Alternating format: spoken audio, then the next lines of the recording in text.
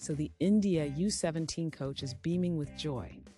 Who knew preparing for friendly matches could make someone this happy? I guess he's found the secret recipe for success. Or maybe it's just extra chapatis at lunch. Training hard, they say. More like trying hard not to trip over their shoelaces. But hey, it's all in the spirit of friendly matches. Who's keeping score anyway? Probably not the coach. He's too busy smiling ear to ear. Ah, Indonesia friendlies. Sounds more like a tropical vacation rather than a football challenge. Someone should remind them it's not all sunbathing. There's a ball involved and maybe some goals to be scored. Hopefully?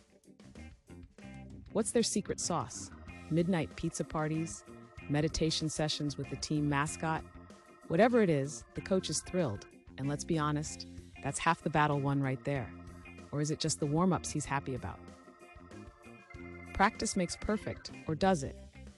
These kids are putting in the hours, but let's see if they can keep their cool in the heat of Indonesia. Or will they just melt into puddles of soccer dreams? Maybe the coach is just happy he doesn't have to do the running. Standing on the sidelines, grinning like a Cheshire cat, is his forte. Could this joy be contagious? Fans, prepare to grin and bear it. So, after all this prep, do you think our boys are ready to conquer Indonesia? Or are we looking at a friendly series of did we just score an own goal moments? What's your prediction? Like and subscribe, please.